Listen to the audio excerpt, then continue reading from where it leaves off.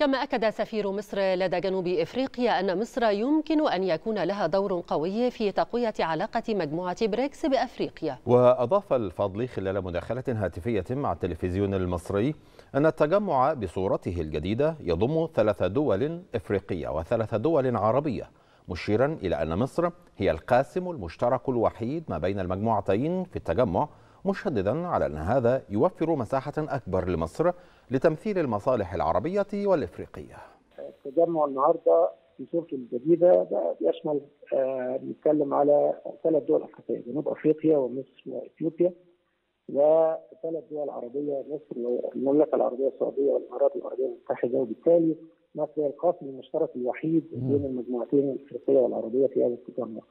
ده بيوفر مساحة أكبر للتنسيق مش فقط بالنسبة لتمثيل المصالح الأفريقية ولكن أيضا المصالح العربية. فيما يتعلق بالمصالح الأفريقية في يمكن أربع أو خمس أهداف أو مجالات محددة ممكن أنه دور مصر يكون قوي لتقوية علاقة مجموعة البريكس بأفريقيا. أولهم حشد التمويل لمشروعات البنية التحتية في أفريقيا نعلم أن هناك خطة عمل للاتحاد الأفريقي ذات الأولوية ضمن برنامج تطوير البنية التحتية في أفريقيا مثل مشروع سد إنجا وربط الملاحي بين بحيرة فيكتوريا والبحر المتوسط ومشروع طريق القاهرة كيب تاون وتعامل أيضا مع قضايا التغيرات المناخية.